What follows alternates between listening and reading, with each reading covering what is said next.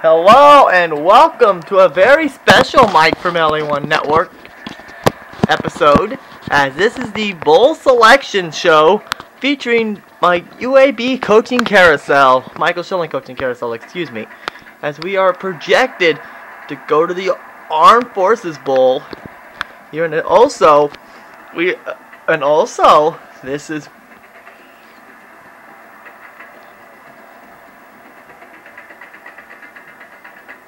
finding out what who are we facing in the Armed Forces Bowl.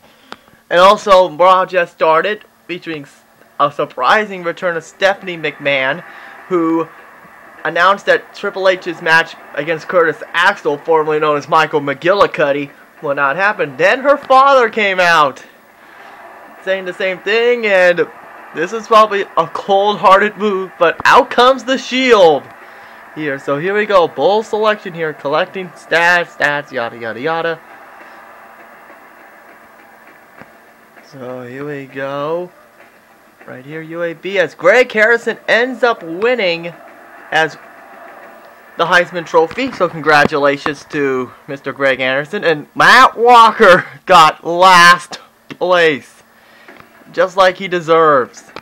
And better yet, we got it. We got the match that we wanted. The Armed Forces Bowl, Hawaii versus UAB. I'll be taking on my former school tomorrow. How about that? We got it. So they're six and six. We're seven and five. So in the Armed Forces Bowl, and we are the favorites to win this one. But the problem is they have a better offense here. As we take a look here, as we take a look here, as Braylon Byrd is our guy is the guy that we started. We're taking him on again. It's Luke White. Oh boy.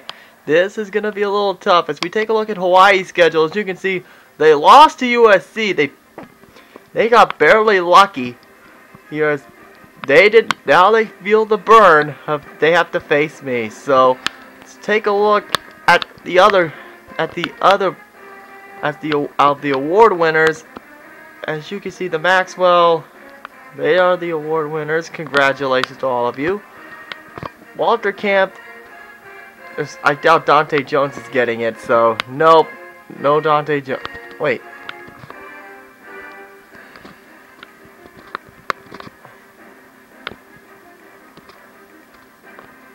Nope. No way. So take a look at the bowl games. As you can see, these are all locked all locked in. We have a shot at beating Hawaii. Here, so here we go. And, and for Georgia, they lost, so they got a berth in the Sugar Bowl. So it'll be Alabama versus TCU. This should be a that should be a great match. More info here. As you can see, Alabama is the heavy favorite to win.